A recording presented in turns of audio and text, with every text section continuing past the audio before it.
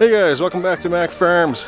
We're out here today planting some corn, uh, but it took a while to get to this stage, so let's rewind back and uh, see where it all started here.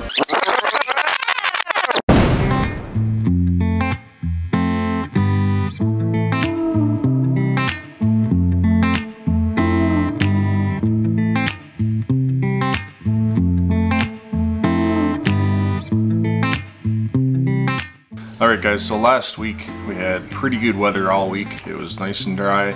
We got lots of planting done, but we were just waiting on the other farm to finish with that corn planter and unfortunately they never got finished up with it until Saturday evening. Now Saturday evening um, it started raining and it rained all day Sunday, all day Monday.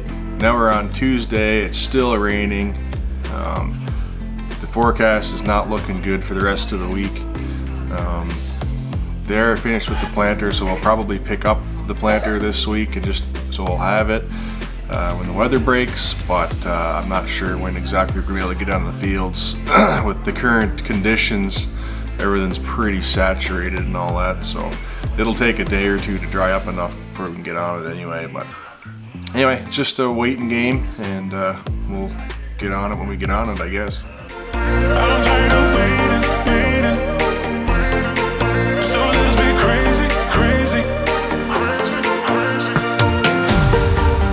Alright guys, weather's finally cleared up. We're gonna go grab that planter today.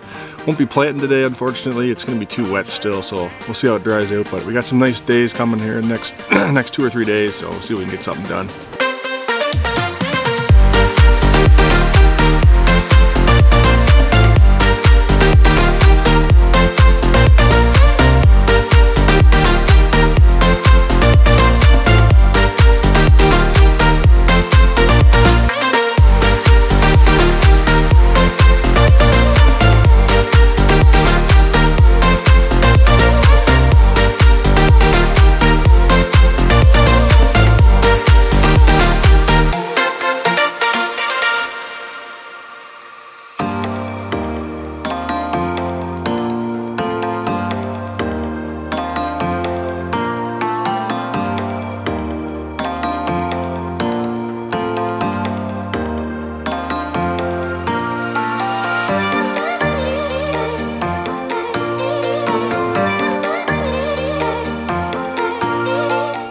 Right guys, we brought the Samco planter home, got it hooked on the 375, and uh, we're just about ready, probably tomorrow, to do a little bit of planting with it.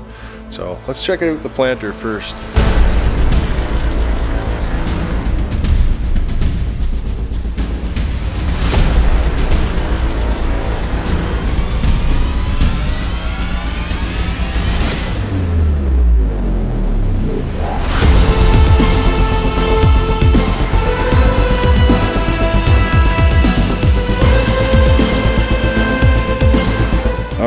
Is. This is the Samco planter, Samco system. Their own units are actually Kverneland.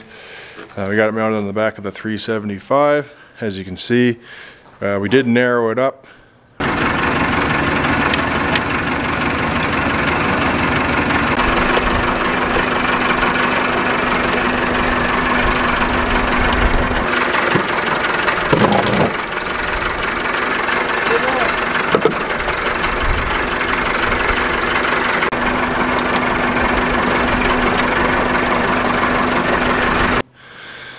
So uh, this is kind of a specialized planter. It's only two row. Uh, as you can see, it has a roll of plastic right there. So it lays down plastic behind the planter on top of the corn and the corn grows through it. It has a uh, chemical tank here for applying chemical. It lays plastic down. Uh, those little things there cover the plastic on the edges. But anyway, I don't need to explain too much because you guys will see it in action how it works. All right, my uncle just got back to fill up the herbicide tank on the planter. Uh, he was planting when we were milking here. So we're just finishing up a few things in the barn here. And then we're gonna meet him back out there and check out some planting action.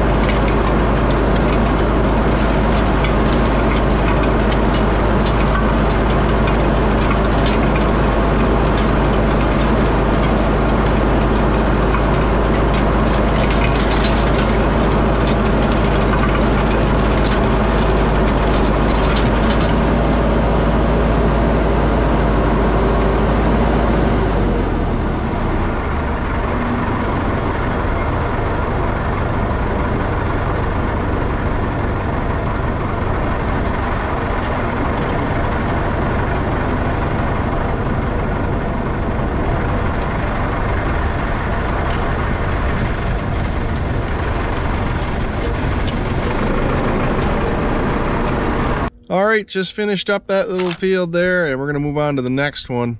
Uh, this is the second piece that is new corn ground. Uh, the last piece we're gonna do is the corn on corn. We gotta get some more seed, I think, for that. But anyway, moving on.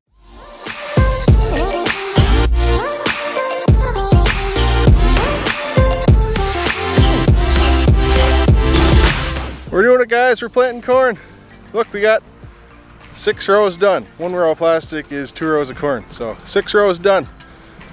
Woo! All right, so a lot of guys have been asking me why we plant our corn under plastic. And the reason is that our growing season here is quite a bit shorter than what you guys see down in the States or in Ontario and places like that uh, for the most part. It's June the 6th here today and we're just planting now. We planted yesterday, it was the first day. We could have planted a little bit earlier here, you know, maybe the second week of May, third week of May kind of thing, but it's still pretty cold. So planting under plastic here just gives it a little bit of a helping hand on growing. It grows a little bit better that way. Uh, some guys are trying it here without uh, plastic and having kind of mixed results. But the plastic is a proven way to do it. It always works pretty well. So, you know, um, why not if you have the capability of doing it. Now, we are looking at buying our own planter and we would like to buy uh, a conventional planter, but there's just that unknown uh, factor to it, whether it's gonna work or not. So, I don't know, we'll try some here this year, probably without plastic and just see how it goes. But uh, I think for the most part, we're probably going to stick to the plastic just do that. We'll probably look for a, a four row planter or something because I don't know, the two row is kind of a pain in the ass. And we got the four row head on the harvester too, so it just makes sense to use a four row instead of a two. But uh, anyway, that's just future things. I don't know if it's going to happen this next year or the year after or 10 years from now, but that's just kind of the plan. For now, we're going to use this thing because it does work and uh, it's available to us. So anyway. I shouldn't have shown the window. I shouldn't have shown.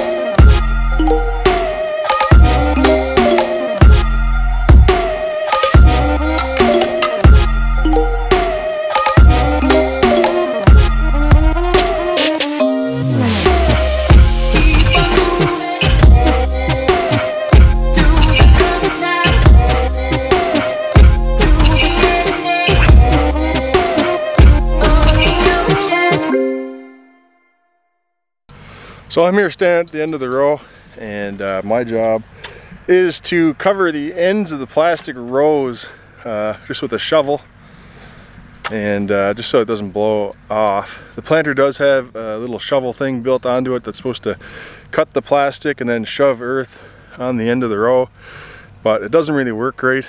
Um, I'm not sure what exactly the story is on it. It's not, it's not an air planter. Maybe it worked when it was new, maybe it never worked. Maybe it needs some adjustment.